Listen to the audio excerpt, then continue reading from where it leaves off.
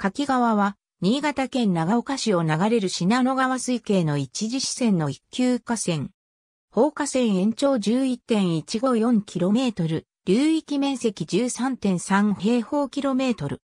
4月中旬には桜並木が満開になる長岡市南東部、標高約550メートルの南蛮峠付近に源を発し、長岡市内を流下して信濃川に合流する。信濃川との合流点には柿川水門と柿川排水機場が設置されている。羽川に柿川上流で分岐し、住か吉川に合流する延長 1.7km の新柿川がある。また、冬季には水量の少ない柿川に信濃川から最大4立方メートル S 導水し、柿川洪水地には信濃川へ最大3立方メートル S 排水する小流節用水導入施設がある。これは、冬季には雪捨て場として用いられている柿川の流量不足を解消し円滑な除雪作業ができるようにしたものである。柿川は長岡市街地を縫うようにして流れるため、たびたび水害を引き起こしてきた。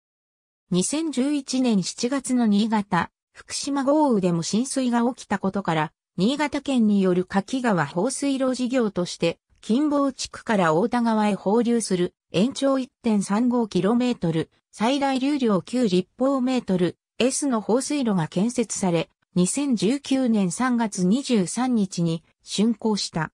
分岐部には腰流包みが設けられ、洪水時に越流堤を越えた水が放水路に流れる仕組みとなっている。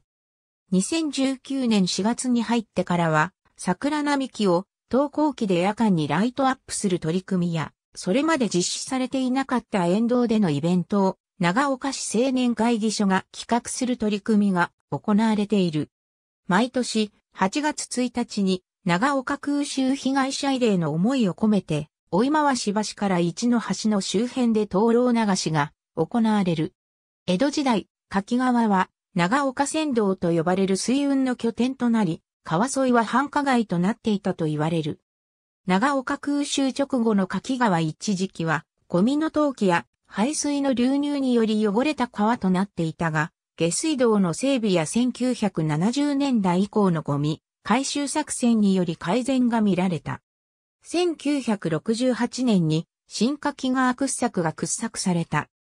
1969年12月から市営駐車場が開設されたが、1983年に廃止され、跡地は車道拡幅に利用されたほか、柿川リバーサイドプロムナード整備事業の一環で遊歩道が整備された。ありがとうございます。